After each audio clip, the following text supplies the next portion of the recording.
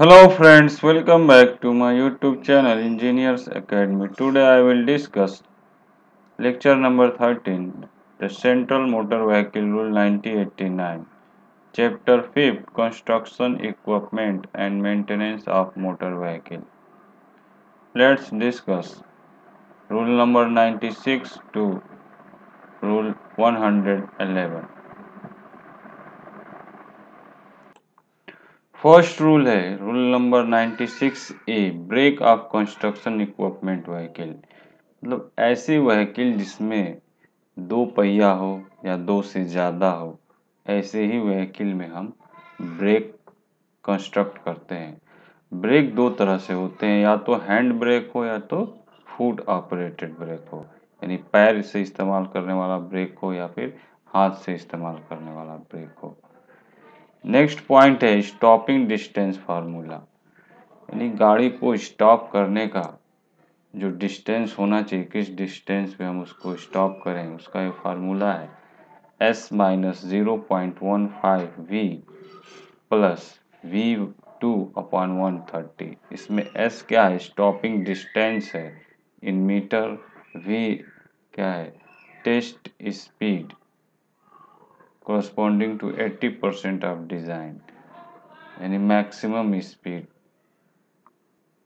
Control force क्या होता है? F minus seven hundred newton तो ये स्टॉपिंग फार्मूला इंपॉर्टेंट है। इस पर आप ध्यान दीजिएगा। चलते हैं नेक्स्ट पॉइंट पे। नेक्स्ट पॉइंट है 96 B rule number 96 B high speed braking requirement high speed के कंडीशन में जो फार्मूला है थोड़ा डिफरेंट है S minus zero point one V plus V two upon one thirty where वही एस स्टॉपिंग डिस्टेंस मीटर में V test speed kilometre per hour में control force है F minus five hundred newton तो ये जब high speed braking requirement हो, तब इस फार्मूला से हम ब्रेक को डिज़ाइन करते हैं। नेक्स्ट पॉइंट है ninety six C brake for agricultural tractor. Agriculture tractor के लिए जो ब्रेकिंग सिस्टम है, वो क्या है? एग्रीकल्चर ट्रैक्टर के लिए I I S twelve thousand sixty one nineteen ninety four में और I S twelve thousand two hundred seven ninety nine में as amended from time to time तो ये समय के अनुसार इसका आई एस रैंक बढ़ता रहता है। जैसे कि 1994 में 12,061 था और 1999 में 12,007 था। नेक्स्ट पॉइंट है 96 D braking requirement for power tiller power tiller के कंडीशन में ब्रेकिंग रिक्वायरमेंट क्या चाहिए? तो ब्रेकिंग रिक्वायरमेंट यानी पावर टिलर को बनाने वाली कंपनी के अकॉर्डिंग जो इस उसकी वेट है पावर टिलर की जो वेट है 1.5 टन से ज़्यादा नहीं होनी चाहिए। इससे ज़्यादा होगा तो ब्रेकिंग पे डिफेक्ट पड़ेगा, जिससे ब्रेक फेल होने के चांसेस बढ़ जाते हैं। नेक्स्ट पॉइंट है। सेकंड पॉइंट है, brake test conducted as speed 15 kilometre per hour to meet the stopping distance requirement of 7.5 meter with the pedal effort not exceeding 600 newton यानी जो उसका ब्रेकिंग टेस्ट है 15 किलोमीटर पर आवर पर उसकी breaking test की जाती है। जो स्टॉपिंग डिस्टेंस जो उसकी रिक्वायरमेंट है 7.5 मीटर होनी चाहिए। और उसका पीडल इफोर्ट जो है, वो 600 न्यूटन से ज़्यादा नहीं होनी चाहिए। नेक्स्ट पॉइंट है 96 E brake for combine harvester. Combine harvester के लिए 20 किलोमीटर पर आवर मैक्सिमम स्पीड पे उसकी डिस्टेंस 10 मीटर से कम होनी चाहिए। सेकेंड पॉइंट है, tractor power combine harvester 24 kilometre per hour maximum speed which is less than 10 metre normal speed के लिए 20 किलोमीटर पर आवर पे उसकी टेस्ट होनी चाहिए।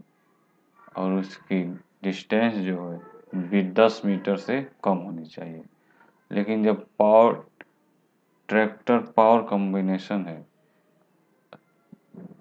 तब उस कंडीशन में 24 किलोमीटर पर आवर मैक्सिमम स्पीड और उसका डिस्टेंस 10 मीटर से कम होना चाहिए। 96 rule number 97 brake for trailer. Trailer के कंडीशन में क्या है कि जो ट्रेलर है, वो उसका वज़न 500 किलोग्राम और उससे ज़्यादा का नहीं होना चाहिए। या उससे ज़्यादा भी हो सकता है तो उस कंडीशन में या तो दो एक्सल वाला हो या फिर दो से ज़्यादा एक्सल वाला हो।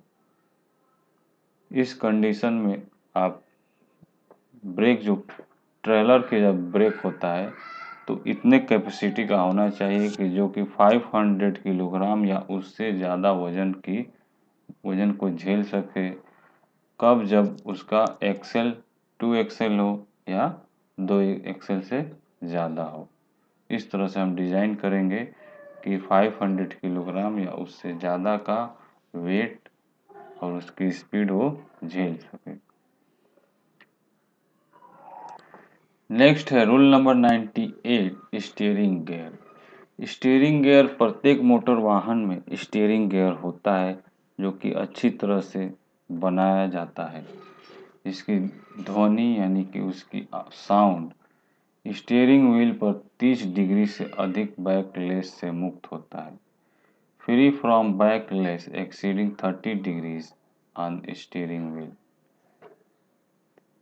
सभी स्टीयरिंग लीकेज को जोड़ने वाले बाल को रबर कैप से सुरक्षित किया जाएगा, किया जाता है, जहाँ कनेक्शन बोल्ट या पिन के साथ सुरक्षित उसको बोल्ट या पिन से प्रभावी ढंग से बंद कर दिया जाता है, यानी जोड़ दिया जाता है, उसको लॉक कर दिया जाता है, ताकि स्टीयरिंग को मिस ना हो।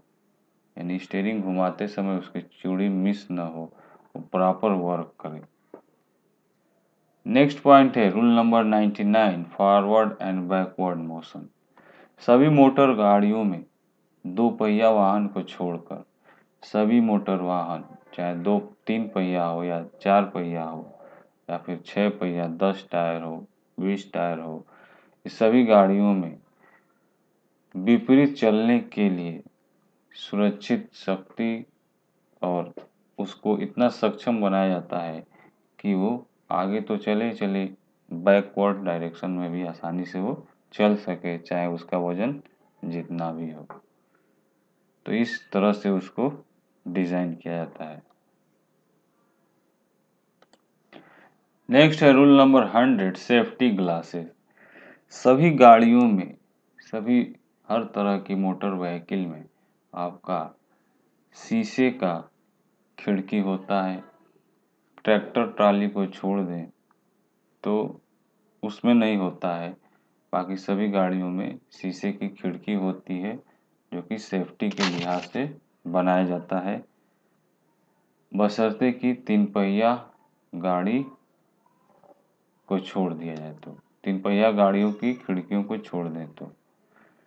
नेक्स्ट पॉइंट है विंड स्क्रीन वाइपर तो विंड स्क्रीन वाइपर जो होता है, जो शीशे के ऊपर एक वाइपर होता है, जो बारिश, फॉग के कंडीशन में क्या होता है, गाड़ी उसको धुंधलापन को साफ़ करने के लिए या पानी को साफ़ करने के लिए हम उस पर फिट करते हैं। आगे के शीशा पे या पीछे के शीशा पे भी फिट रहता है। और जब भी उसकी आवश्यकता पड़ती है, जैसे गाड़ी चला रहे हैं, हम बारिश हो गई तो उस कंडीशन में हमको दिखाई नहीं देगा स्पष्ट। शीशा पर भी पानी गिरेगा तब भी नहीं दिखाई देगा और आगे भी पानी दिखता है। तो उस कंडीशन में क्या होता है कि वाइपर का हम इस्तेमाल करते हैं, जो कि एक मोटर से जुड़ा रहता है और वो गाड़ी के चलने पर अप डाउन होता है और जिससे शीशा क्लियर होता है और जिससे आपको आसानी होती है देखने में।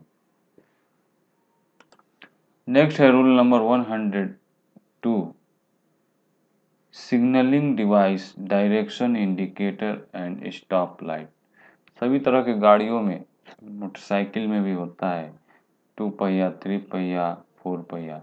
स्टॉप करने पर एक पीछे की रेड लाइट जलती है, ठीक है? या फिर ब्रेक लगाने पर भी, या फिर उसको डायरेक्शन चेंज करने पर भी हम लाइट जलती है।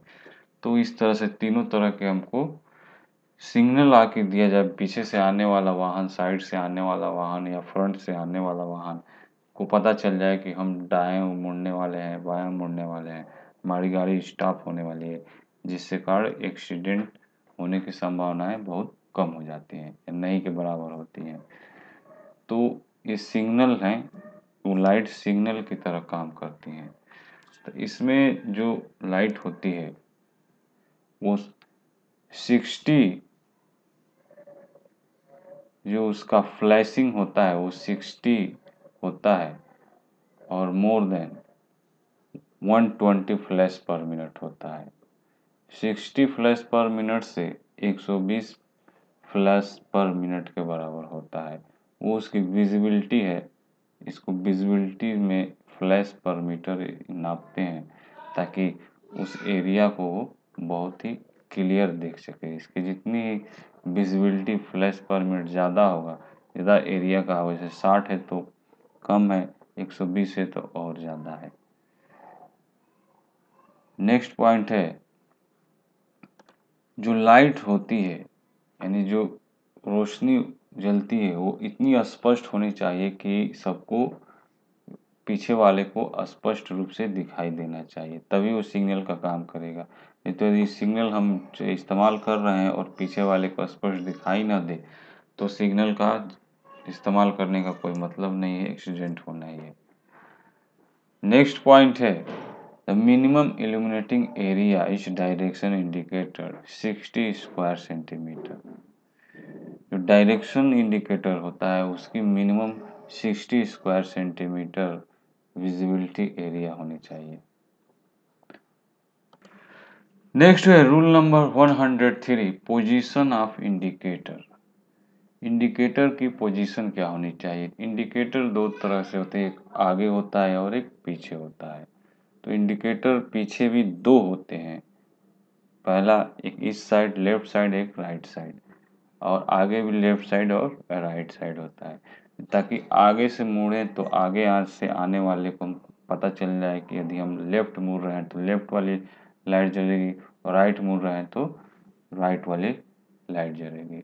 और पीछे से आने वाले को पीछे का लाइट दिखेगा।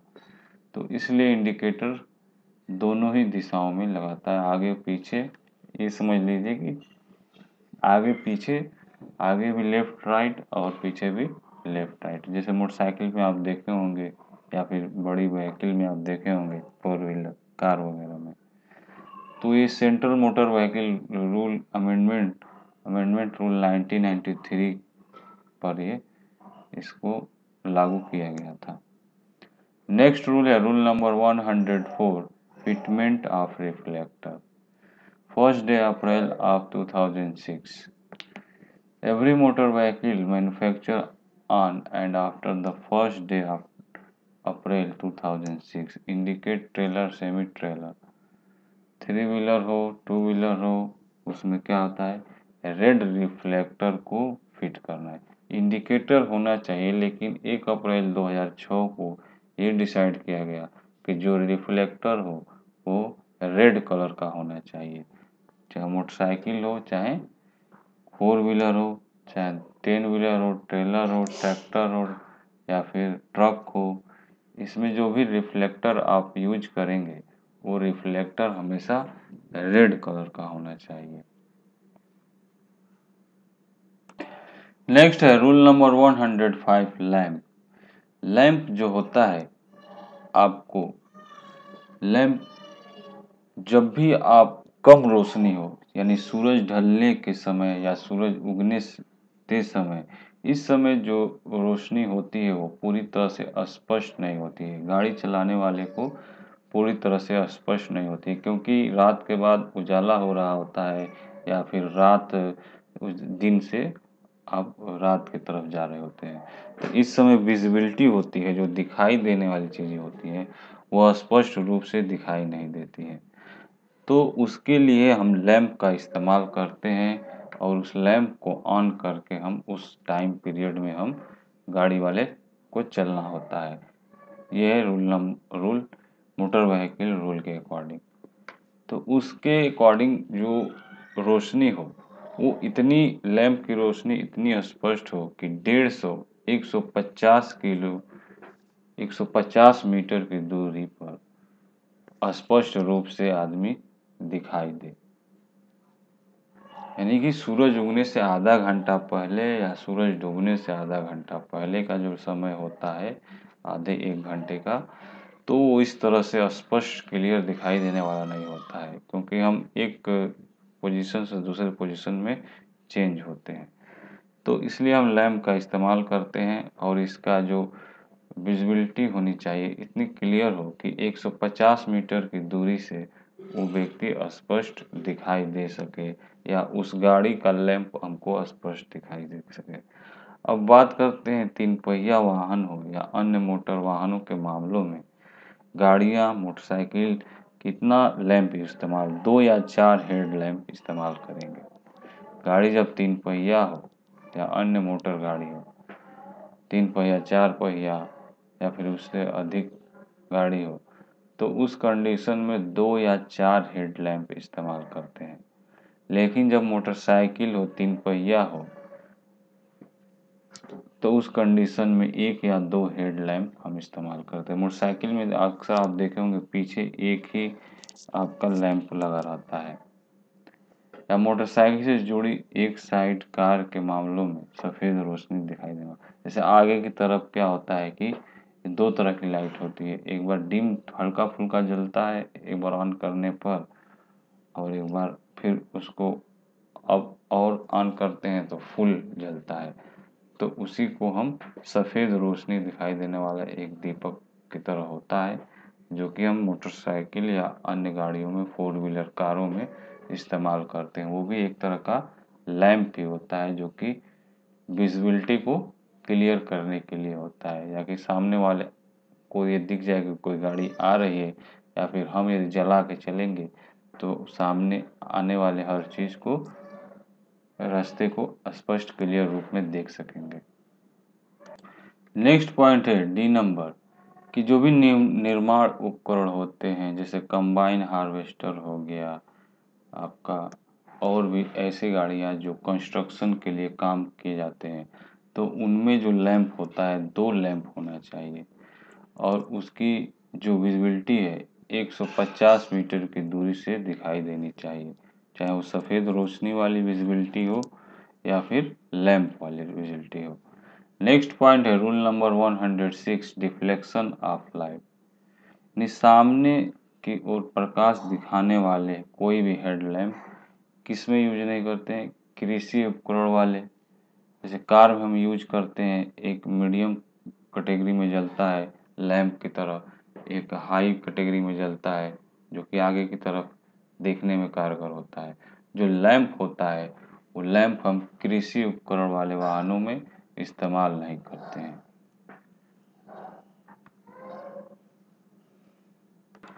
नेक्स्ट है रूल नंबर 107 टॉप लाइट सभी गुड्स व्हीकल यानी जो भी माल ढोने वाली गाड़ियाँ होती हैं, जैसे ट्राला हो गया, ट्रक हो गया तो उनमें, उन गाड़ियों में जो लाइट होता है टॉप लाइट हो जाता है, यानी कि उसकी जो जो भी चौड़ाई होती है डिस्टेंस होती है 2.1 मीटर से ज़्यादा नहीं होनी चाहिए। जैसे ट्रक, ट्राला देख लीजिए, बड़ी ट्रक जिसमें दस पहिए, बीस पहिए होते हैं, उसका जो फ्रंट होता है, उसके दोनों कार्नर पे टॉप लाइट लगी होती है, जो बहुत तेज़ी से रोशनी क्रिएट करती है, उसी को टॉप लाइट कहते हैं। तो एक तरह से हेड हेड लाइट जिसे कहते हैं आप आम भाषा में। तो वो हेड लाइट जो दोनों हेडलाइट के बीच की दूरी होती है, वो 2.1 मीटर से ज़्यादा नहीं होती है। और उनके बगल में छोटे छोटे रेड कलर के लैम्प भी लगे रहते हैं, जो कि सिग्नल के लिए इस्तेमाल किए जाते हैं। तो टॉप लाइट जो भी फ्रंट की तरफ़ लगता है, वो 2.1 मीटर से ज़्यादा दूरी पर नहीं होनी चाहिए। जो टॉप लाइट होता है, एक तरह समझ लीजिए हेड लाइट जिसे कहते हैं, उसी को हम टॉप लाइट कहते हैं। नेक्स्ट पॉइंट है rule number 108 use of red white and blue light कोई भी मोटर व्हीकिल फ्रंट की तरफ़ रेड लाइट का इस्तेमाल नहीं कर सकती है। वो हमेशा वाइट लाइट का ही इस्तेमाल करते हैं। और रियर में, यानी पीछे की तरफ़ कौन सा लाइट इस्तेमाल करते हैं, रेड कलर का। पीछे भी आपको हम बताए हैं। अगर इंटरनल लाइट जो है व्हीकिल की, वो हो सकती है किसी भी कलर की, यानी गाड़ी के अंदर जो जल रहा है, वो लाइट किस कलर का है, इससे ज़्यादा कोई फ़र्क नहीं पड़ता है। जो लाइट का अंबर है, वो डिस्प्ले किस कलर का, किस डायरेक्शन का, इंडिकेटर है, top light, vehicle operating within the permission airport यानी टॉप लाइट जो होती है, वो अंदर की तरफ़ जो लाइट हो, गाड़ी के अंदर, वो किस कलर की, इससे कोई फ़र्क होता है लेकिन फ्रंट पे जो लाइट होनी चाहिए, हमेशा वाइट होनी चाहिए। और बैक में जो इंडिकेटर हमेशा इस्तेमाल करते हैं, वो गाड़ी हमेशा, वो लाइट हमेशा रेड कलर की होनी चाहिए। कब ये पारित हुआ कि बैक की जो इंडिकेटर हम रेड लगेंगे, एक अप्रैल 2006 को ये लागू हुआ था मोटर व्हीकिल रूल में, के अकॉर्डिंग नेक्स्ट है rule number 109 parking light parking light आप देखिए, हर गाड़ियों में पार्किंग लाइट होती है। तो जैसे कि किसी तरह कंस्ट्रक्शन इक्विपमेंट व्हीकिल हो कंबाइन हार्वेस्टर है मोटर व्हीकिल हो एवरी तरह का मोटर व्हीकिल हो तो थ्री व्हील्ड इनवैलिड कैरिज हो तो उसमें इच साइड यानी सभी डायरेक्शन में क्या होनी चाहिए? पार्किंग लाइट होनी चाहिए। फ्रंट की तरफ़ पर भी, साइड में, बैक में तो कम से कम एक लाइट होनी चाहिए ईच डायरेक्शन में। पार्किंग लाइट और पार्किंग लाइट का इस्तेमाल हम कब करते हैं? पार्किंग मान लीजिए हम गाड़ी, यदि रोड के साइड में हम खड़े किए हैं, रात का वक्त है या फिर दिन का वक्त है तो उस समय हम पार्किंग लाइट को जला के ही गाड़ी को खड़े करते हैं। अगर ऐसा नहीं करते हैं तो एक्सीडेंट होने की संभावनाएँ बढ़ जाती हैं। नेक्स्ट है rule number 110 lamp on three wheeler three wheeler पे लैंप होना चाहिए। कहाँ होना चाहिए? किस साइड होना चाहिए? तो तीन पहिया पर कम से कम एक लैंप हो लैंप होना चाहिए फ्रंट में और कुछ lamp back side two side white amber light होनी चाहिए। ठीक है, दो साइड का होना चाहिए? वाइट एम्बर लाइट होनी चाहिए फ्रंट पे एक लैंप होना चाहिए बॉडी पर भी साइड में दो फ्रंट लैंप होना चाहिए। और इसकी विजिबिलिटी जो होनी चाहिए 75 मीटर यानी 75 मीटर से वो लैंप जले तो स्पष्ट दिख जाए। तो उसकी विजिबिलिटी कम से कम पचहत्तर मिनट मीटर पे होनी चाहिए और जो उसका चिन्ह होना चाहिए, पंजीकृत जो चिन्ह होता है, जो उसकी डिस्टेंस होनी चाहिए रेंडर रियर का, यानी पीछे वाले का, वो 15 मीटर होनी चाहिए। नेक्स्ट है rule number 111 provision of stop light stop light तो होता ही नहीं है। जो पीछे की लाइट है, वही लाइट स्टॉप लाइट के रूप में जलती है। नो स्टॉप लाइट और search light shall be carried on the front of any vehicle यानी किसी भी गाड़ी में फ्रंट साइड यानी आगे पर स्टॉप लाइट नहीं होता है। वो स्टॉप लाइट जो भी होता है, वो बैक की तरफ़ होता है।